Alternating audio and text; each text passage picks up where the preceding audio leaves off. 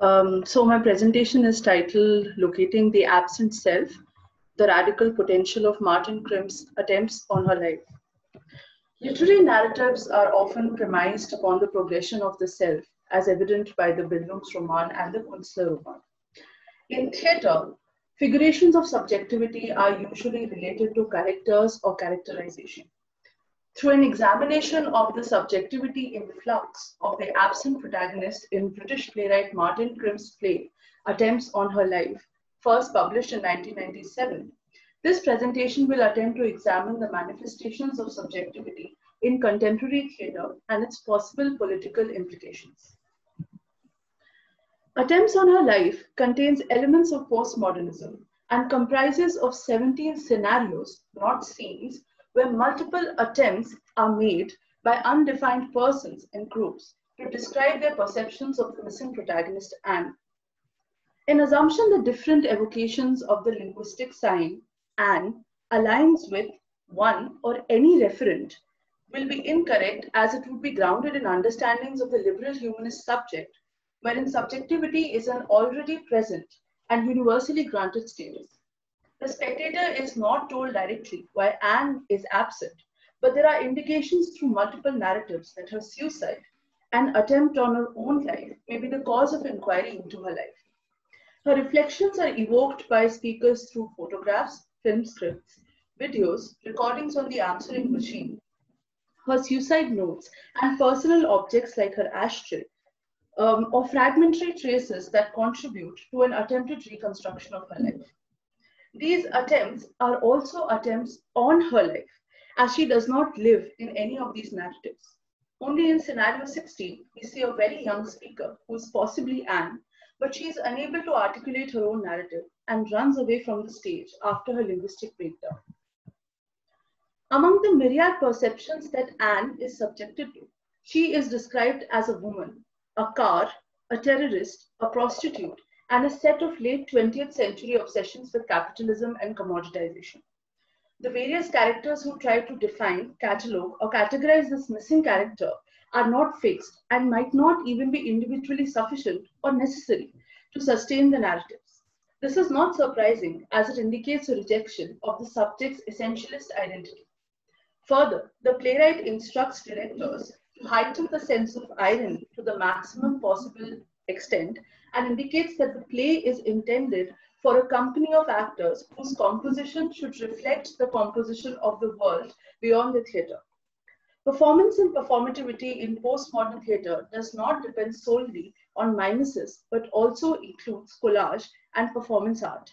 Thus, narratives of Anne presented to the spectators are juxtaposed with images of Anne referring to her absence while trying to render her presence. The various scenarios are not only conflicting with and contradicting each other, but they are also unreliable. Anne's mother cannot recognize her in the pictures that she has sent her. In scenario 11, Anne has left the video recordings of her suicide attempts, allegedly as performance art, which is then dissected by art critics. Though she and her life are constantly subjected to multiple gazes, the gaze of the camera, the gaze of the speakers, as seen in scenario 5, the camera loves you, her absence allows her to escape the gaze of the spectator. For the spectator, she is just a viewing other who told her parents as a child that she felt like a TV screen, where everything in the front looks real and alive, but round the back there's just dust and a few wires. The spectator's gaze does not penetrate the surface of, the screen onto which her image is projected as a commodity meant to be consumed. The question that this presentation attempts to answer is if Anne is an emblem of the multiple disembodied selves engendered due to social media applications, which was anticipated by Crimp, or a graver possibility that, as per the title, Anne, Anne's life is ontologically dependent on these contradictory attempts to define it. On the face of it, it seems that since the protagonist in Crimp's play is absent, one cannot trace or determine subjective agency in the play. These attempts are directed as much at the viewer in order to make the viewer believe in the credibility of each such attempt as of one over the other. These varied attempts point towards the problems and limits of representation. In scenario 7, the new Annie, Anne literally becomes a vehicle, a brand new car. On one hand, the play reduces Anne's identity to a linguistic artifice with no external reality or fixed subject position. And on the other hand, by dramatizing the actor's collapse, the play offers strategies of resistance to the creation of archetypes. Even as she is not present in the play, the character's perceptions of her make her a presence. But since her presence or existence cannot be affirmed, she is both an absence in presence as well as a presence in absence. This is an aporia which renders Anne a spectre figure in the play. It would be incorrect to say that the play has no narratives, since one cannot claim that all the 17 scenarios are one can claim that all the 17 scenarios are narratives in themselves. They do not give a sense of closure, but are ends in themselves. It is very important to note that by showcasing a variety of perspectives in the attempt to construct or deconstruct Anne, the play reaches its conclusion in affirming the strength of individual perceptions. The play ends on the note of agreement that a phrase like fresh salmon can also mean previously frozen, thereby highlighting how a variety of perspectives can be used to attempt a description of the same thing, though they might or might not lead to any concrete detail being established. In her book, Rethinking Character in Contemporary British Theatre, Cristina Delgado Garcia argues that much like the subject, even character should be seen as a contingent ontological category. She suggests that the so-called characterless plays not only challenge the interpellation and recognition as the only mechanisms by which the subject position may be acquired and acknowledged, but they also evince the resilience of the subject. They should not be mistaken as subjectless plays because subjects are formulated as amalgams of affects, unconscious processes, and economic transactions rather than independent individuals, and they oppose the violence of assigning and being assigned an identity. Rather, she asserts, they should be seen as making a move towards thinking of the subject as capable of emancipation.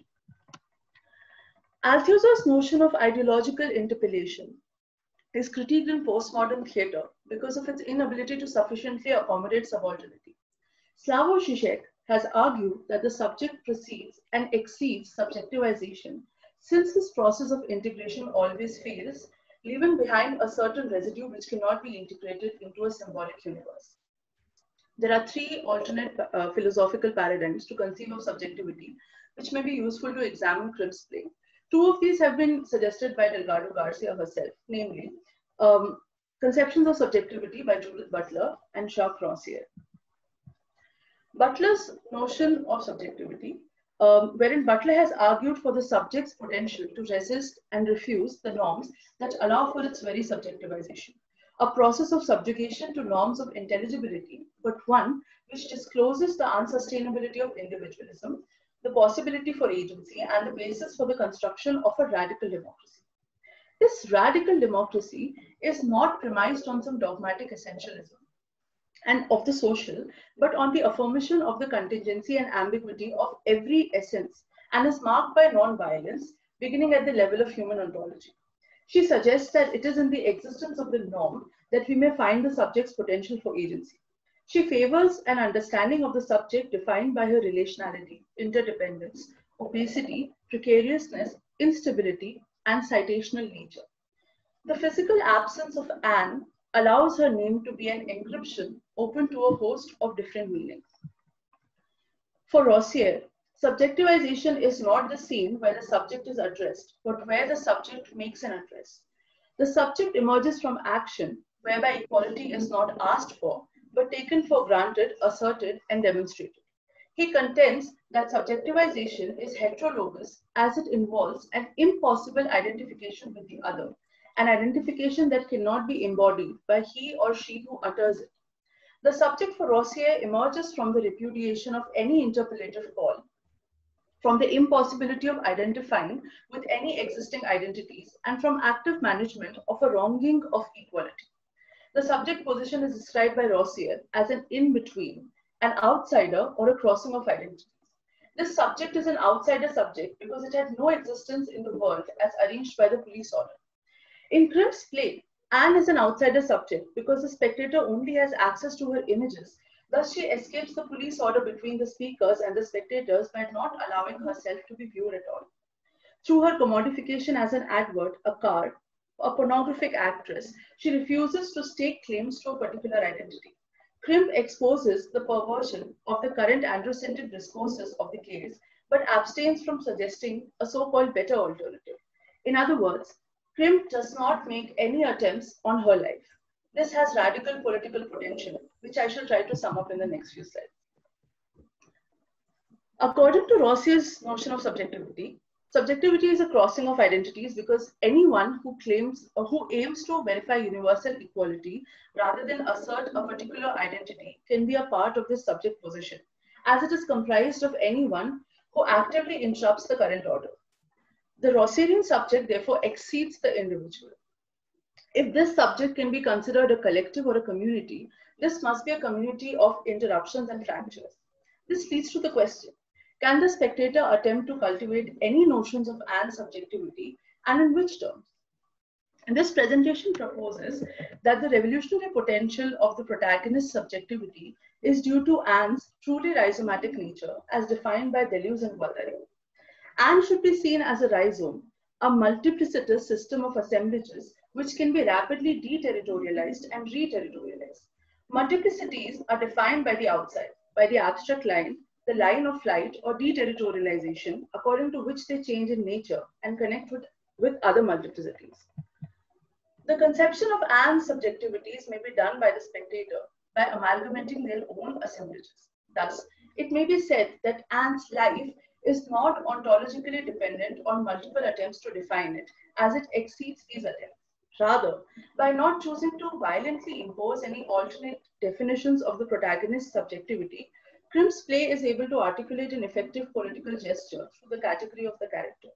By signaling the ways in which oppression works at the root of every attempt at essentializing the subject, and by expanding the horizons of the ontology of the subject, demonstrating that it is a process in becoming. Thank you.